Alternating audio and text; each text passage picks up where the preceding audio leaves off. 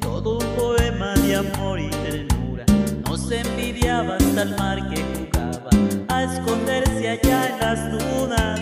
Tanto vagar por las noches de luna era un andar por arenas doradas. Eran dos almas de amor empapadas que de quererse jamás se cansaban. Hubo en la arena su lecho de espuma, hubo en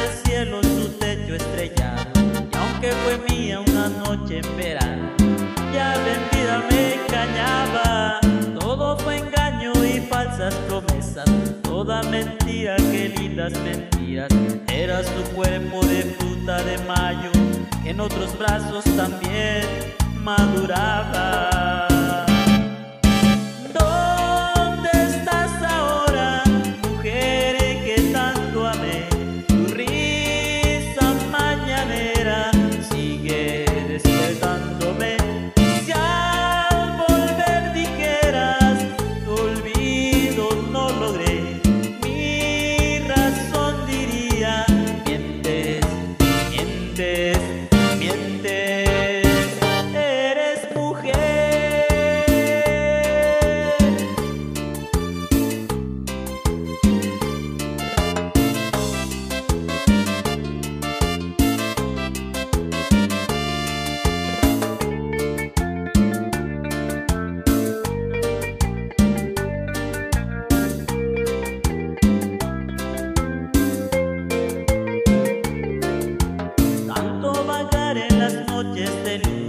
Era un andar por arenas doradas, eran dos almas de amor empapadas que de quererse jamás se cansaban.